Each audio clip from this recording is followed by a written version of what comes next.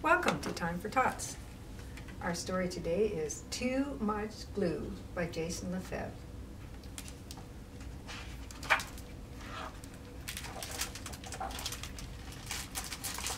Our art teacher says, too much glue never dries. She reminds us, glue raindrops, not puddles. And she warns Matty, too much glue. Look at all the glue Matty has there. It's all stuck on his fingers.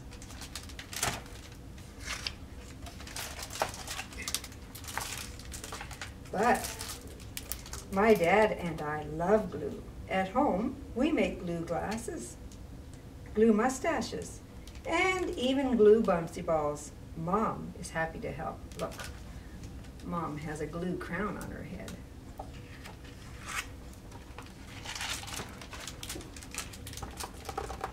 So during art class, I find the fullest bottles of glue. I tip them over and squeeze. Ploop! Look at this big thing of glue.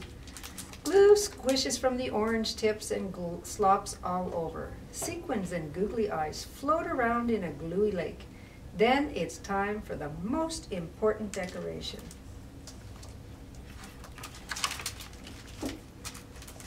And there he is, jumping, and he says, Geronimo! and he belly flops onto the table and rolls around, letting the glue and everything else cover me. So there he is, all covered in glue and sequins and googly eyes. I think that's kind of a mess. Time to go on the drying rack, I announced, but when I try to pull myself off the table, I boing right back down. Too much glue, Matty, too much glue, my teacher squawks. This is bad. There's only half an hour until the end of school, and all I can do is lift my head, wave my hands, and wiggle my feet. Uh-oh. The rest of me is a blucky, stucky mess. Can somebody help me, I call.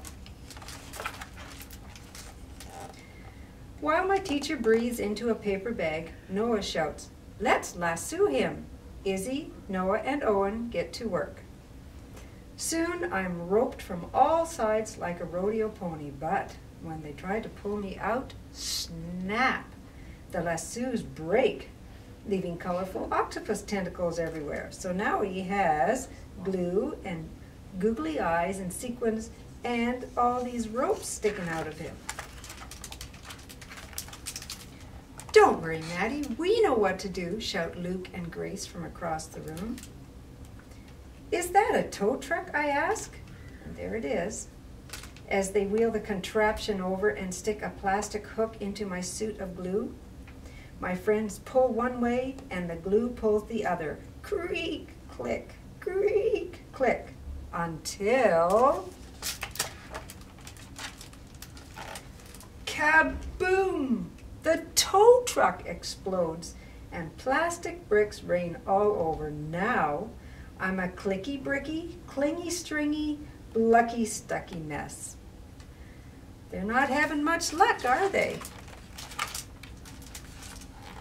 The school nurse bursts in and checks my temperature. 98.6. Sorry, no fever. I can't send you home early.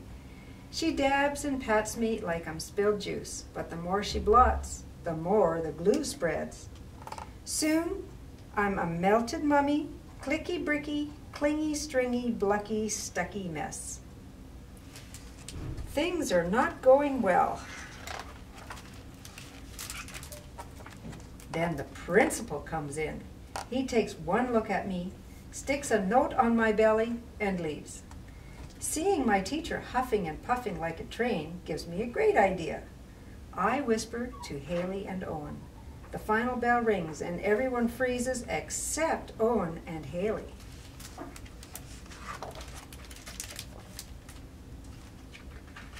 It's the biggest one we could make, they shout, furiously flapping a huge paper fan at me. Then, just as I'm thinking, I'll be a note on my tummy, melted mummy, clicky, bricky, clingy, stringy, blucky, stucky glue boy for the rest of my life, my plan works. Something my teacher said could never happen happens. The glue dries. But I'm still stuck, and now I hear footsteps. The door starts to open. I wonder who's coming in. My father and some other carpool parents walk in. Dad comes closer and inspects me. Then he peels me off the table, glue, yarn, bricks, and all. He spins me around. No one makes a sound. Then Dad smiles. Matty, you're a masterpiece. He holds me up for everyone to admire. My friends all cheer.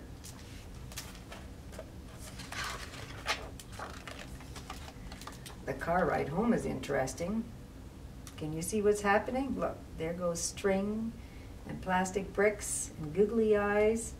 Everything is flip-flopping all over the place. Mom is speechless when Dad brings me in the house, but he knows just what to do. Well, kiddo, Dad says, some beautiful things only happen once, and this is one of those things. He gently grips the dried glue in front of my neck and behind my collar and peels me open like a ripe banana.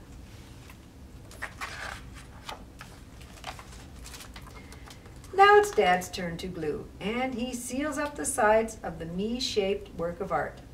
I bet it would take all the glue in the art room to make a U-shaped work of art, Dad, I say. Dad laughs. Then he glues a big magnet to the back of my project and hangs it on the fridge. During dinner, we sneak peeks at my masterpiece. And after dinner, We take the principal's note very seriously. And this is the note from the principal. And it says, please encourage Matty to use tape instead of glue. So here they are, after dinner, making things with tape. So I thought maybe we would like to have a little bit of fun with glue now that Matty and his dad did.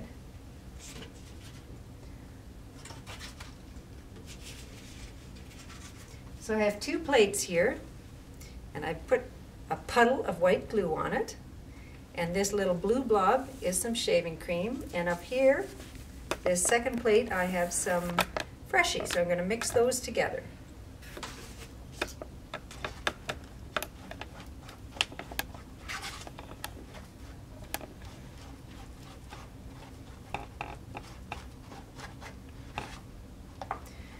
So with the shaving cream, it gets all puffy and it turned blue, of course, because the shaving cream is blue.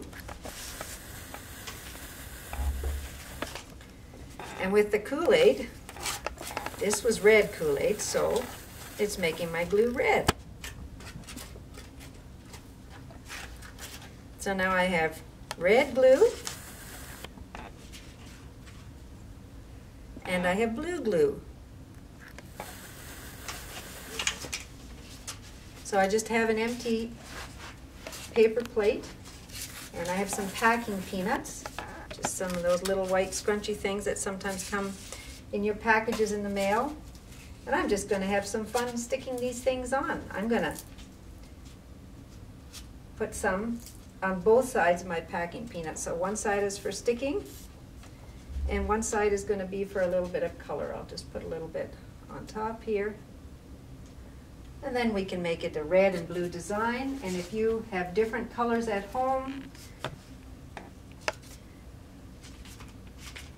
you could make a very colorful picture using your packing peanuts and your glue.